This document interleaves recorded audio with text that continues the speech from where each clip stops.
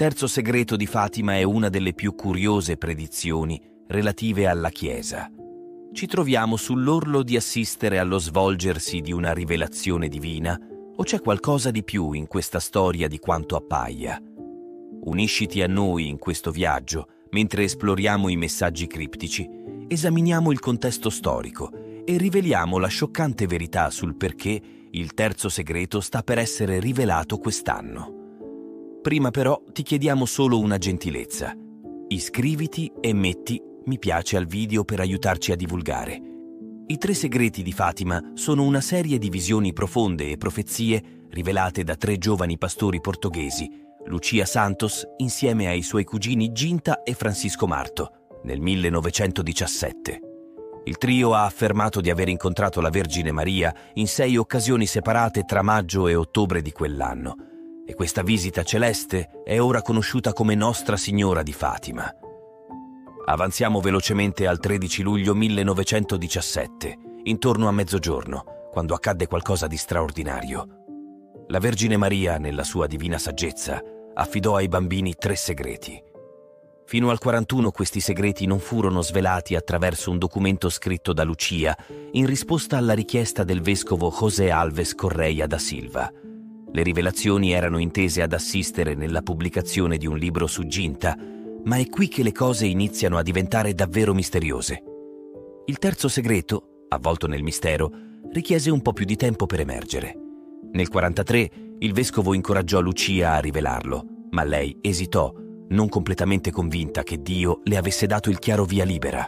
Tuttavia, il vescovo insistette e nell'ottobre 43 Lucia scrisse il segreto, sigillandolo in una busta e dando istruzioni rigorose di non aprirlo fino al 60, credendo che allora sarebbe apparso più chiaro. Il contenuto di questo enigmatico segreto fu finalmente divulgato da Papa Giovanni Paolo II nell'anno 2000, sebbene alcuni scettici sostengano che potrebbe non essere l'intero segreto. Il Vaticano rimane fermo nelle sue affermazioni. Ora, quali sono questi segreti?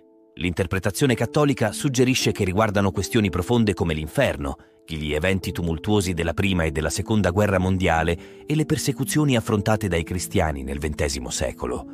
Approfondendo il regno delle apparizioni mariane, vale la pena notare che, tra le centinaia indagate dalla Chiesa cattolica, solo 12 hanno ricevuto la sua approvazione ufficiale. Sorprendentemente, nove di questi eventi si sono verificati tra il 1830 e il 1933. Questa piccola frazione di eventi riconosciuti invita alla riflessione sulla loro significatività. Gli antropologi culturali Victor ed Edith Turner, che abbracciarono il cattolicesimo nel 1918, una volta videro la crescita dei culti delle apparizioni mariane come una reazione da parte di una classe media inferiore e marginata che lottava con i rapidi cambiamenti della cultura post-industriale. Ora concentriamoci su Lucia Santos, una delle figure chiave nelle rivelazioni di Fatima, e qui le cose diventano davvero interessanti. All'età di 14 anni fu mandata alla scuola delle suore di Santa Dorotea a Vilar, vicino a Porto. Nel 1928 Lucia fece il prossimo passo, diventando una postulante nel convento di Dorotea a Tui, appena oltre il confine spagnolo. Incredibilmente per tutta la vita, Lucia continuò a riferire visioni private intermittenti durante gli anni 30 il vescovo di Leiria incoraggiò Lucia, che adottò il nome religioso di Suor Maria Lucia di Gesù, a scrivere le sue memorie. Questo sforzo mirava a svelare più dettagli sui suoi cugini e sulle apparizioni del 17. Interessantemente, l'idea di un segreto affidato ai bambini durante le apparizioni emerse già nel luglio 17. Lucia accennò che questo segreto aveva conseguenze sia buone che cattive per diverse persone. Tuttavia, non fu fino alla sua terza memoria, composta nel 41, che si addentrò più profondamente nel contenuto dei segreti. In un modello simile alla visionaria francese Mélanie Calvat, che rivelò i segreti dell'apparizione di Nostra Signora di La Salette quasi due decenni dopo, Lucia divulgò che i segreti avevano tre parti. Le prime due furono svelate nel 41, con la terza impegnata su carta il 3 gennaio del 44. Durante la metà del 43, quando Suor Lucia, con le sue sorelle Dorotee e Atui, Spagna, si ammalò gravemente, temendo che la sua vita potesse svanire prima che potesse rivelare la parte rimanente del segreto, il vescovo di Leiria le chiese con urgenza di mettere penna su carta. In obbedienza e nel mezzo dell'agonia della sua malattia, Suor Lucia trascrisse faticosamente il terzo segreto su un singolo foglio di carta. Con solenne cura lo mise all'interno di una busta, sigillandolo come prova della gravità del suo contenuto. Prima di addentrarci nella testimonianza di Suor Lucia, è cruciale considerare le parole dell'allora cardinale Joseph Ratzinger. Egli fornisce contesto alla rivelazione, riconoscendo le speculazioni e le controversie che hanno avvolto il terzo segreto per molti anni. Nel suo commento teologico intitolato Il messaggio di Fatima, il cardinale Ratzinger nota che il contenuto della busta, a lungo custodita, potrebbe essere deludente per alcuni. Il cardinale Ratzinger afferma che un esame attento del terzo segreto potrebbe non risolvere un grande enigma o presagire eventi futuri. Piuttosto, presenta la Chiesa dei martiri del secolo appena concluso in un linguaggio simbolico difficile da comprendere. Esaminando le rivelazioni di Fatima, ci si chiede sulle intenzioni dietro una comunicazione dalla Madre del Signore al cristianesimo e all'umanità, in un momento di grande tumulto.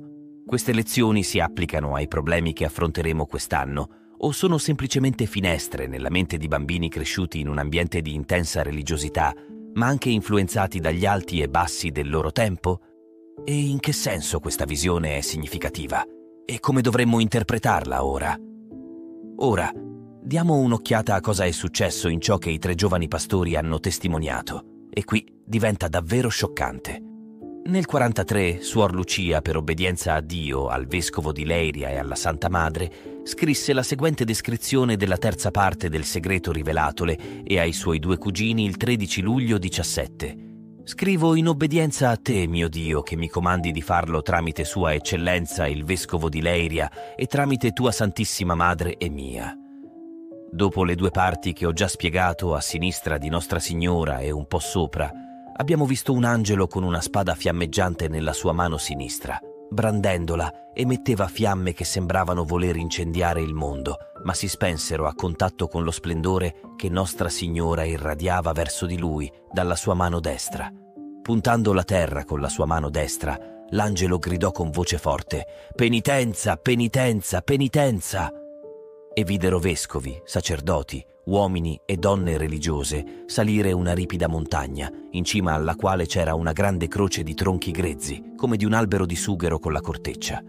Prima di arrivare lì, il Santo Padre attraversò una grande città mezza in rovina e mezza tremante con passo incerto, afflitto da dolore e tristezza, pregava per le anime dei cadaveri che incontrava sulla sua strada Avendo raggiunto la cima della montagna, in ginocchio ai piedi della grande croce, fu ucciso da un gruppo di soldati che spararono proiettili e frecce contro di lui, e allo stesso modo morirono uno dopo l'altro gli altri vescovi, sacerdoti, uomini e donne religiose e varie persone laiche di diversi gradi e posizioni. Sotto le due braccia della croce c'erano due angeli ciascuno, con un aspersorio di cristallo in mano, nel quale raccoglievano il sangue dei martiri e con esso spruzzavano le anime che facevano il loro cammino verso Dio. Le scene raccontate da Suor Lucia sono a dir poco intense e vividamente descrittive. Ci si può solo immaginare l'impatto sui tre giovani visionari mentre ricevevano i profondi segreti profetici di Fatima in quel giorno significativo. Le parole e le visioni concesse da Dio e dalla Santa Madre non sono confinate al passato, risuonano come un messaggio per tutti noi. L'interpretazione di Suor Lucia del Terzo Segreto, condivisa quasi quattro decenni dopo, nel maggio 82, in una lettera a Papa Giovanni Paolo II, getta luce sulla natura simbolica della rivelazione. Nelle sue parole spiega che la terza parte del segreto si riferisce alle parole di Nostra Signora. Se non, la Russia diffonderà i suoi errori in tutto il mondo, provocando guerre e persecuzioni della Chiesa. I buoni saranno martirizzati, il Santo Padre avrà molto da soffrire, varie nazioni saranno annientate.